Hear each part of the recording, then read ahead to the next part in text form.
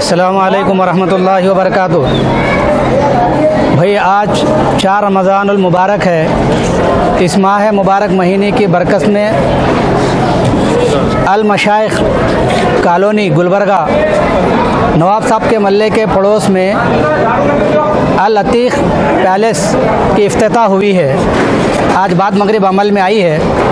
ہمارے اس function hall کے اونر جناب محمد عتیق اعجاز احمد صاحب ماشاء اللہ اللہ ان کی عمر میں خوب ترقی کرے اور کاروبار میں برکت عطا فرمائے، ان کے رفقہ کے ساتھ میں ہماری یہ دعائیں ہیں۔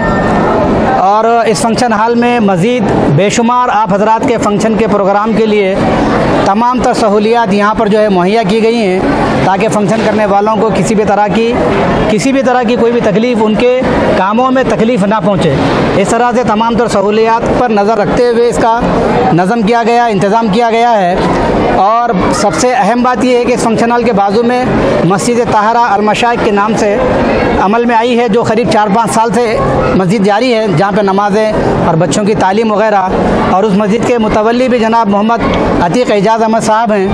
میں مزید ان کے لیے، ان کے عمر میں اور ان کے کاروبار میں اور ان کے اولاد میں، ان کے تمام رفقہ رفقہ کے ساتھ دعا خیر میں ہوں کہ اللہ تعالیٰ خوب ترقی عطا فرمائیں کہ ماشاء اللہ بڑی دیندارانہ سوچ بھی ہے اور دینداری اعتبار سے دنیاوی کاموں کو، دینی کاموں میں جو ہے مدد کے لیے، علماء کے لیے اور تو جو کاروبار میں جو ساتھ میں لوگ جڑے ہوئے ہیں، ان سب کو لے کے چلنے کا ماشاء اللہ بہت ہی اچھا مزاج ہے۔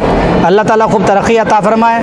اور اس محلے کے جتنے بھی ہمارے مسلمان احباب ہیں، میری ان سے گزارش ہے کہ ہمارے اس العتیق پیلس میں اپنے جو بھی فنکشن ہے، کر کے ہمیں شکریہ کا موقع عنایت فرمائیں وعلیکم ورحمۃ اللہ وبرکاتہ۔